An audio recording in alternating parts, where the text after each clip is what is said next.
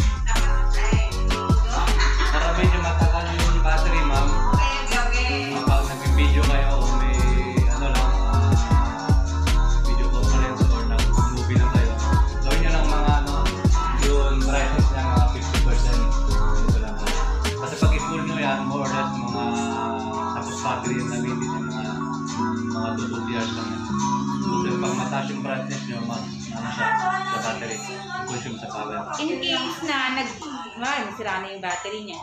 Saan nakakabilib na? Kasi ba gusto niya? Pag binili na natin pag ang pwede ko ito sa MSI. Or pag wala na, sa mga malls, mas mabuti lang kasi mas, mas